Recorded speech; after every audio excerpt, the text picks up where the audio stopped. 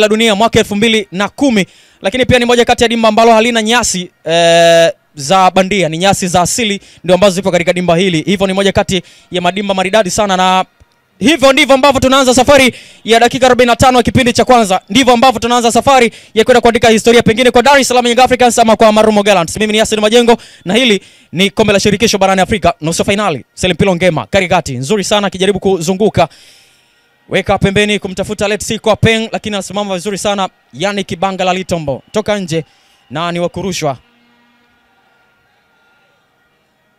pembeni, anaanza haraka haraka. Ranga Chivaviro. Anaweka tenga pembeni, lakini katikati ya dimba. Anajaribu kuingia kwenye lola hatari. Luku Mohomi, Ismail Olivia Ture anadaka mpira, anajaribu kuondoka. Kibwana Shomari pasi ambayo alikuwa anampigia Kalala Fisto Mayele imeshindikana na imekwenda nje. Wana presha kubwa sana Marumo Gallants hii leo wakihitaji Mfomvelase anarusha haraka haraka katikati.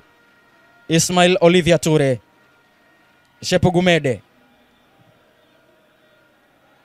Mfomvelase, pasi ndefu mbele kumtafuta Ranga Chivavire, simama vizuri sana. Dickson Job anarejesha nyuma kwa mara nyingine tena, na mpira mrefu sana mbele, gonga kichwa Ibrahim Baka Hamad, Khalid Aucho Dickson Job, pasi nyuma ni Jigi Diara, pembeni tena kumtafuta Dickson Job, imefika kwenye miguu yake, anachanja mbuga, tambariza pasi chini chini, lakini anasimama kwa ubora na inakwenda nje.